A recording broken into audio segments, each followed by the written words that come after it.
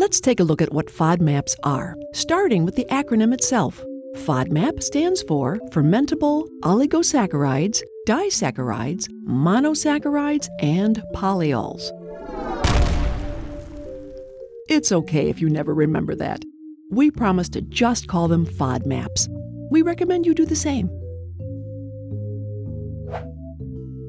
On the other hand, if you're looking for a quick way to explain them to other people,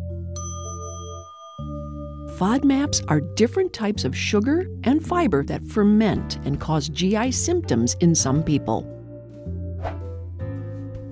Okay, but what are FODMAPs, really? FODMAPs are certain kinds of carbohydrates found in food. Not all carbohydrates are FODMAPs, just certain ones.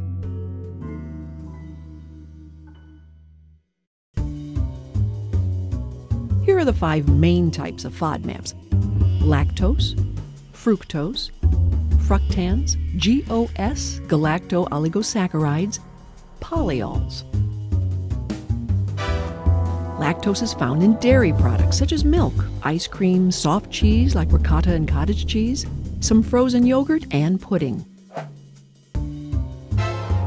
Fructose is found in some fruits and fruit juice. Don't worry, you don't have to give up fruit altogether some vegetables and sweeteners such as agave syrup and honey.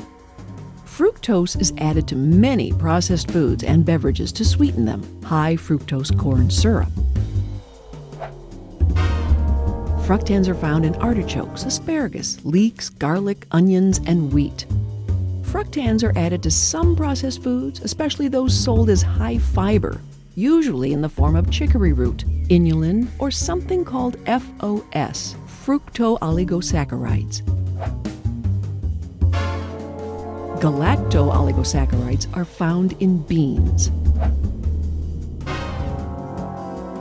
Polyols are often found in some fruits with pits like peaches and cherries, and some vegetables like cauliflower and snow peas.